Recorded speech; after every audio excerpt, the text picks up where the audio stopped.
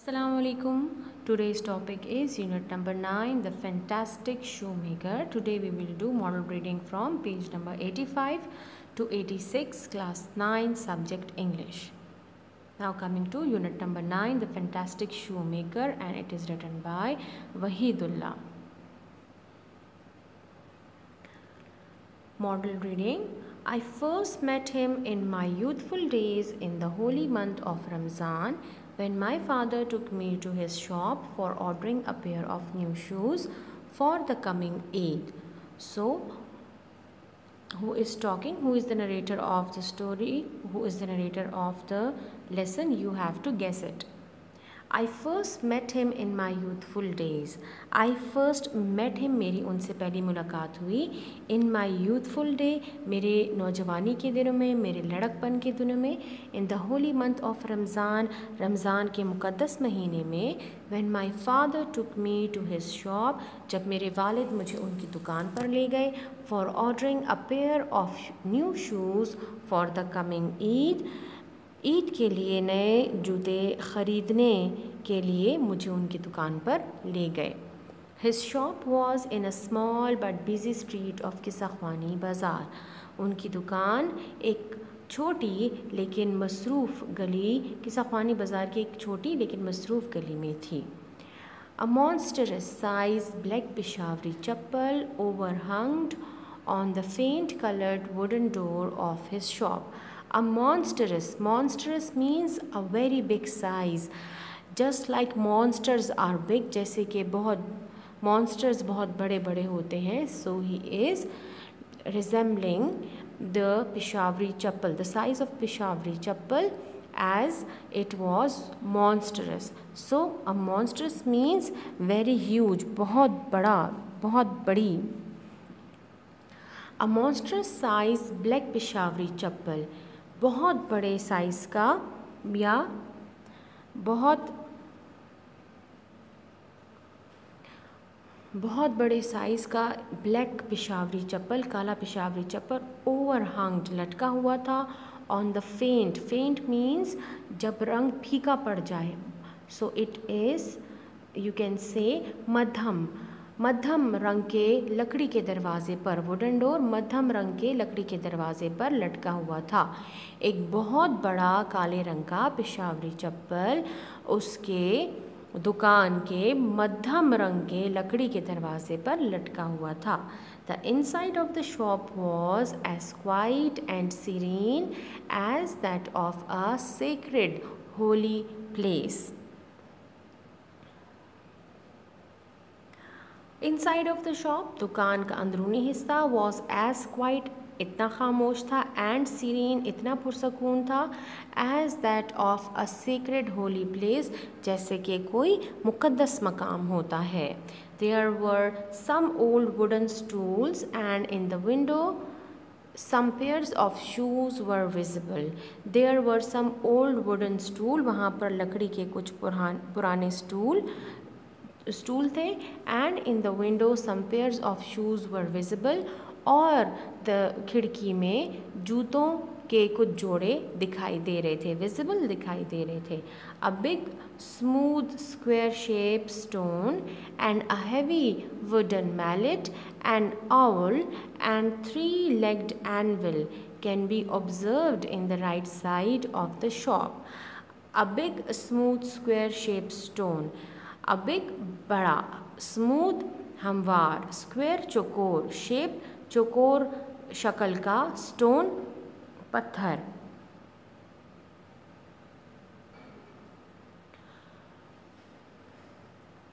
Can be observe in the right side of the shop दुकान के दाएँ हिस्से में एक चौकोर शक्ल का हमवार पत्थर a heavy wooden mallet a heavy भारी वुडन मैलेट लकड़ी से बना एक बड़ा हथौड़ा mallet means just like hammer made of wood so एक बड़ा लकड़ी का हथौड़ा एंड आउल एक सुआ. सुआ means needle is a small of uh, thing and a big kind of thing is called sua and all and three-legged animal and three-legged animal means और तीन टांगों वाला दंदान देखे जा सकते थे so you have to find out the pictures of these tools from the net to to know the shape and the size of these things. A big smooth square uh, shaped stone, a heavy wooden mallet and all and three-legged animal. And three-legged animal means तीन टांगों वाला दंदान देखे जा सके जा सकते थे can be observe in the right side of the shop दुकान की दाएं हिस्से में देखे जा सकते थे the rest of the shop was as barren as desert because he made only those pairs of shoes that were ordered. The rest of the shop Baki Manda Dukan was as barren. Barren means ऐसे वीरान थी ऐसे बंजर थी as desert ऐसे बंजर थी जैसे सहरा because he made only those pairs of shoes that were ordered क्योंकि सिर्फ़ वो ऑर्डर पर ही जूते बनाता था. At the far end of the wall of the shop was hanging a small signboard showing Zaringul and brothers. दुकान की अगली दुकान की अगली दीवार पर the at the far end of the wall दुकान की अगली दीवार पर was hanging a small sign board एक छोटा साइन बोर्ड लटका हुआ था जिस पर जरिंगुल एंड ब्रदर्स के अल्फाज दर्ज थे। The shoes that Gul made never fail to fit in the feet and they lasted extraordinary longer than usual the shoes that Zareen Gul made never fail to fit never fail to fit कभी भी उनकी fitting ख़राब नहीं होती थी। In the feet and they lasted और वो रहते थे। एक्स्ट्रा ऑर्डनरी गैर मामूली तौर पर लॉन्गर देन यूजल आम मामूल से वो ज़्यादा लंबे चलते थे। जरीन गुल के बनाए हुए जूते हमेशा नाप में पूरे होते थे और अमूमन बहुत ज़्यादा अरसा चलते थे। To make shoes such shoes as he made seemed to me then and seems to me now mysterious and wonderful. Mysterious means पुरस्रार wonderful means हैरत अंगेज to make shoes जूते बनाना और ऐसे जूते और ऐसे जैसे वो बनाता था मुझे तब भी और अब भी बहुत पुरस्रार और हैरत अंगेज़ लगता है I still remember my hesitant remarks while stretching out to him my youthful foot. Isn't is not it awfully hard to make shoes in such tough conditions? I still remember मुझे अभी भी याद है my hesitant remarks My hesitant remarks हिचकिचाहट से भरे हुए अल्फाज while stretching out to him, stretching out, extending my leg to him, uh, my youthful foot. मुझे अब भी अपनी हिचकिचाहट भरे अल्फाज याद हैं जब मैंने अपना नो का पाँव उनकी तरफ़ बढ़ाते हुए कहा Isn't it, it awfully hard to make shoes in such tough conditions? क्या इस तरह के हालात में जूते बनाना इंतहाई मुश्किल काम नहीं? The serpentine wrinkles wriggled on his smiling face and he answered, It is an art. Serpentine means बलदार जिसमें बहुत ज़्यादा बल होते हैं। रिंकल्स मीन्स झुरियाँ। रिगल्ड मीन्स हिलने लगीं। उसके मुस्कुराते चेहरे पर पेचदार झुरियाँ फैल गईं और उसने ये जवाब दिया इट इज़ एन आर्ट ये एक फ़न है. ये एक हुनर है. Zareen Gul remarks about shoes making and their stability to different suitability Zaringon remarks about shoe ma shoes making and their suitability to different people were so authoritative and final that nobody dared reject them. Zareen गुल remarks Zareen गुल का कहना या उसकी राय about shoes making जूते बनाने and there suitability और उनकी मुनासबत टू डिफरेंट पीपल मुख्तलिफ़ लोगों के लिए वर सो अथॉरिटेटिव इतनी मोतबर थी, इतनी सही होती थी एंड फाइनल और इतनी हतमी होती थी दैट नो बडी डेयर्ड कि कोई हिम्मत नहीं कर सकता था कि उसको रिजेक्ट करे, उसको इनकार करे। So the idiomatic translation for this sentence will be जूतों की बनावट और मुख्तलिफ़ लोगों के पाँव में मुनासबत के हवाले से जहरीन गुल का तबसरा इतना मोतबर और हतमी होता था कि कोई इन्हें रद्द करने की ज़रूरत नहीं कर सकता था। My father though chieftain of the area would accept his views about a particular pair of shoes which brisk nod chieftain means बड़े होना, बड़ा सरदार इलाके का बड़ा होना, would accept his view about particular pair of shoes with brisk nod. Brisk means जल्दी से, nod, सर हिलाना। असबात में सर हिलाना। जब आप किसी की बात को सही मानते हैं और आप अपना सर हिलाते हैं ब्रिस्क मीन्स जल्दी।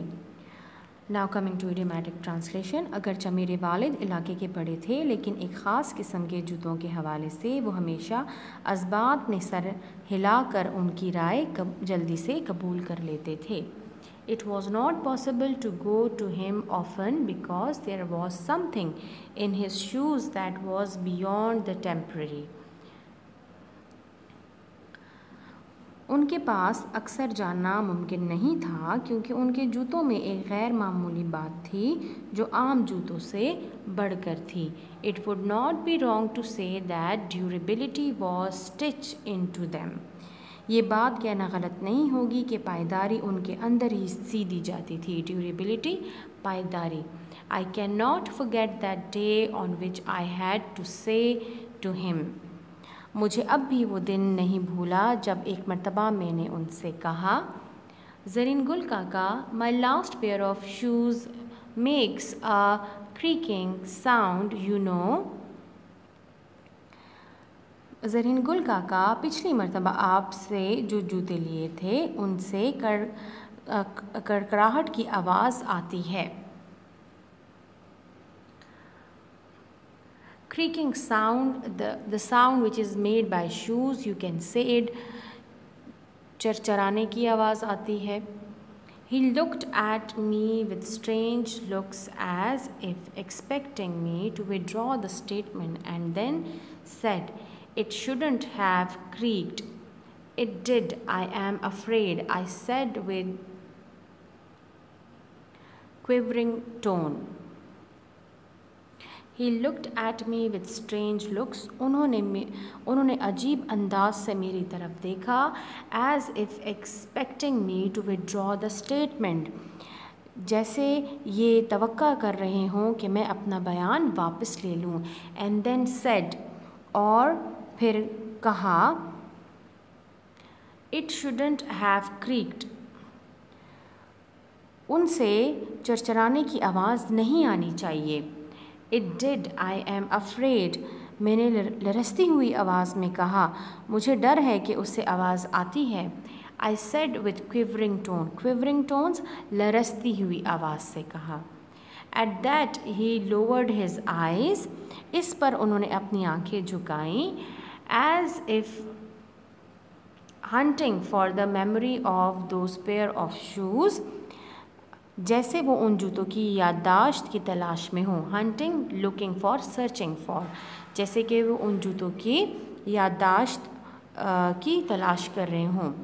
I really felt sorry that I mention this pretty thing मुझे बहुत अफसोस हुआ कि मैंने प्रिटी थिंग इतनी मामूली बात का ज़िक्र उनके सामने किया। Which looked to him so serious and grave जो उनके सामने या जो उनके लिए इंतहाई संजीदा और बहुत अहम बात थी। Send them back send them back he said उन्होंने कहा, उन्हें वापस भिजवा दो। I will look at them मैं देख लूँगा। Some shoes are bad from birth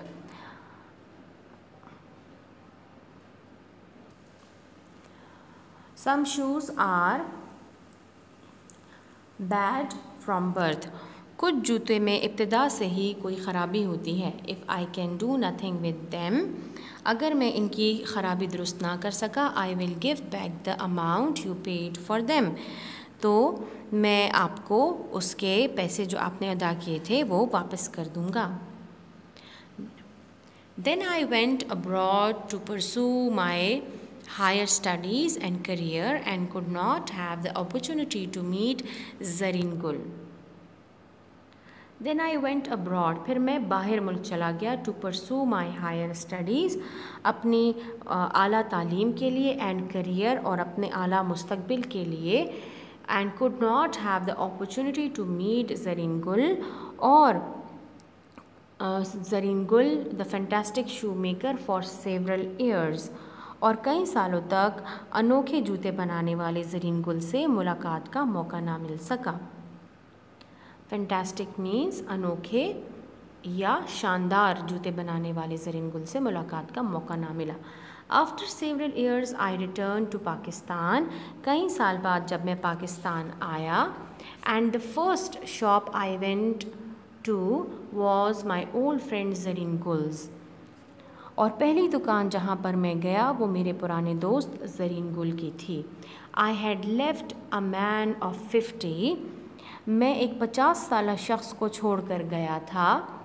I came back to one of sixty five और जब मैं वापस आया तो वो सिक्सटी फाइव साल का हो गया था।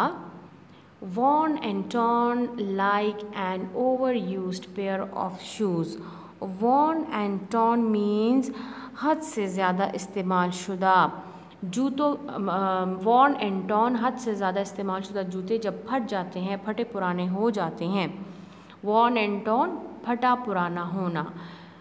लाइक एन ओवर यूज़ हद से ज़्यादा इस्तेमाल शुदा पेयर ऑफ़ शूज़ वो इस तरह था जैसे ज़्यादा इस्तेमाल शुदा जूतों की तरह फटा पुराना हो चुका था।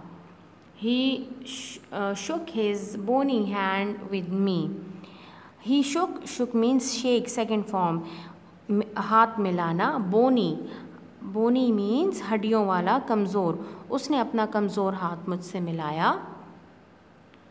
But the grip of his hand was as tight as it was many years ago लेकिन उसके हाथ की गिरफ्त, उसके हाथ की पकड़ अभी भी वैसे मज़बूत थी जैसे कि कई साल पहले थी।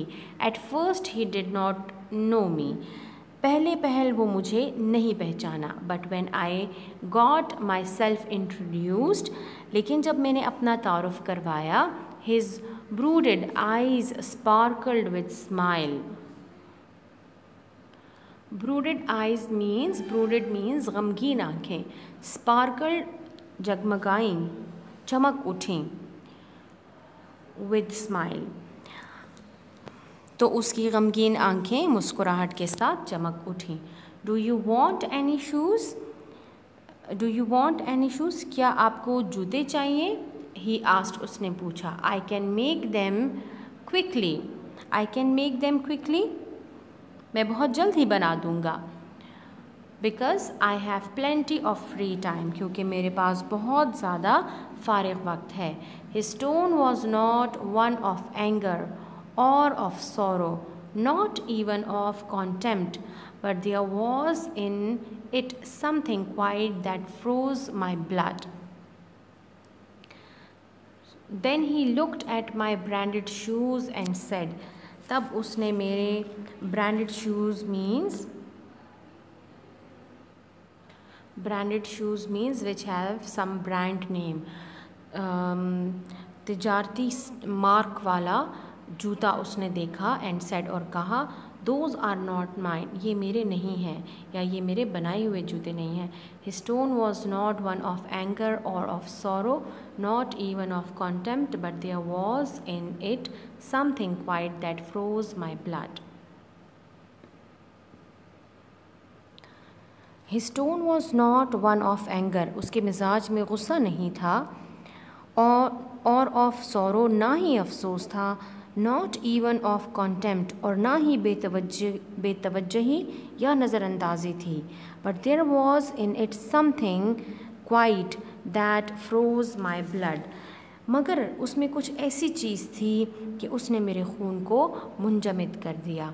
He put his hand down and pressed a finger on the place where my left shoes was not quite comfortable उसने अपना हाथ नीचे किया और मेरे बाएँ जूते को उंगली से एक जगह दबाया, जहाँ पर वो आरामदेह नहीं था। So after reading this lesson, you have to figure out that who is the speaker or narrator in this lesson. Activity reading of text along idiomatic translation. Thank you